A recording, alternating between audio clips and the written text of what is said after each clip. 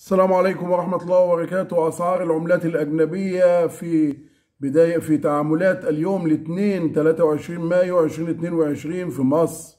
سجل سعر اليورو نحو 19 جنيه و25 قرش للشراء 19 جنيه 37 قرش للبيع والجنيه الاسترليني سجل 22 جنيه و74 قرش شراء 22 جنيه 95 قرش للبيع. أما الفرنك السويسري سجل 18 جنيه و69 قرش للشراء 18 جنيه و83 قرش للبيع.